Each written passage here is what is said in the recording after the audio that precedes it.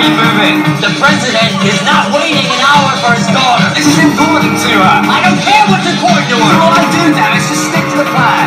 I'll have her in front of the victory column in one hour, and then this whole thing will be over and she'll be all yours.